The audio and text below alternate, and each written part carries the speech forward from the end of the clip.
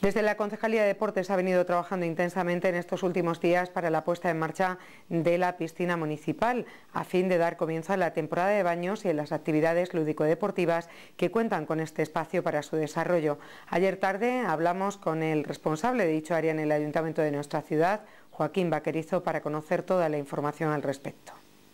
Dos semanas trabajando un poco a contrarreloj para poder poner en marcha lo que es el tema de la piscina, por, claro, por la demanda que hay de la ciudadanía, de, con la calor y demás, para poderse bañar y demás. Pues claro, todo el mundo preguntando que si se iba a abrir, que si no se iba a abrir, se ha llegado incluso a comentar que no se iba a abrir la piscina y la piscina se abrirá el próximo lunes, 27, si no hay ningún problema, que hasta ahora va todo sobre la marcha, lo que pasa que sí, que hemos tenido que andar un poco a contrarreloj y demás por medio de eso, de que nos hemos encontrado porque que estaba todo paralizado,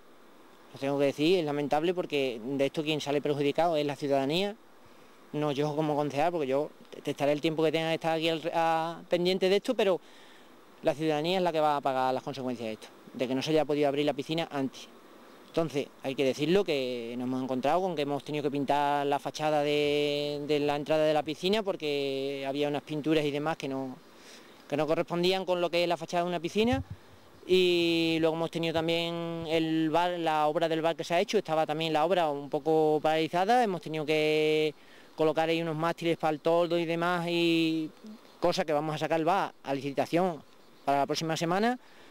y con una serie de condiciones para que el, propietario, el empresario que coja el bar pues pueda ponerlo en marcha lo, antes posible para sacarle el, el máximo rendimiento.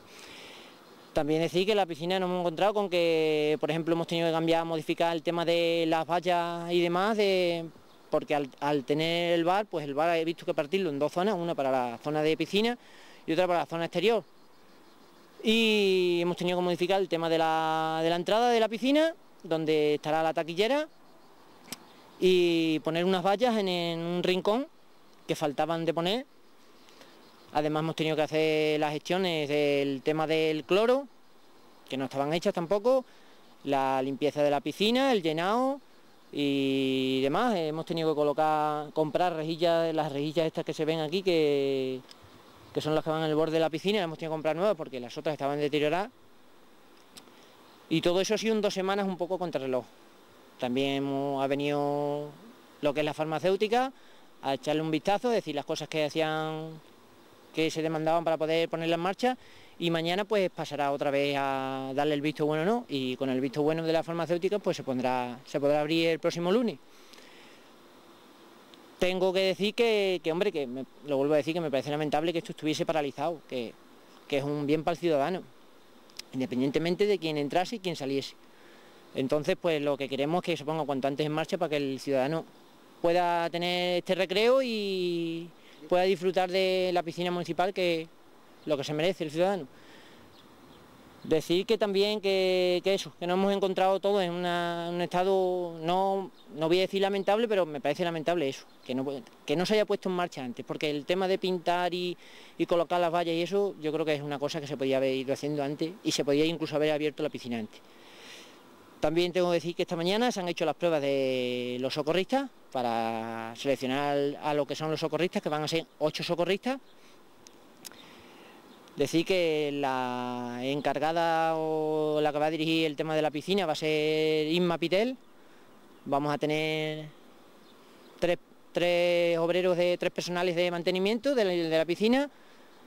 y una limpiadora y todo eso pues estamos haciendo las gestiones para poderlo tener el lunes a disposición. También en estos días han ultimado los detalles para el comienzo de las actividades lúdico-deportivas que la Concejalía de Deportes oferta para el disfrute del tiempo libre de toda la población durante la temporada estival.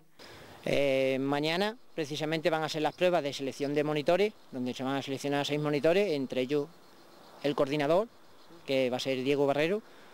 y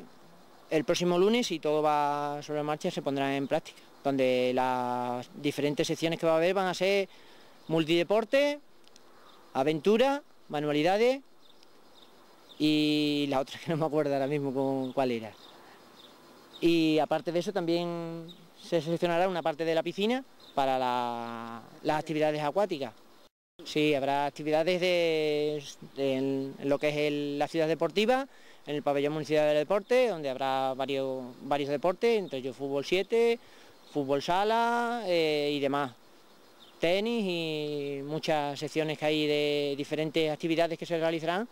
donde hoy, por ejemplo, en el de fútbol 7 se va a hacer celebrar una reunión para que para poderlo poner en marcha ya en la fecha que están indicadas. Y nada, el campamento, pues lo que sí tengo que decir que en un principio se iban a quedar un, más o menos, era una cantidad de unos 60 niños, se iban a quedar fuera por medio de, que no podíamos acomodarlos en, las tres quincenas que hay dentro del campamento. Entonces, pues vamos a hacer un esfuerzo y vamos a ampliar eso, una quincena más, para que esos niños puedan acceder también al campamento. El lunes también darán comienzo las clases de natación.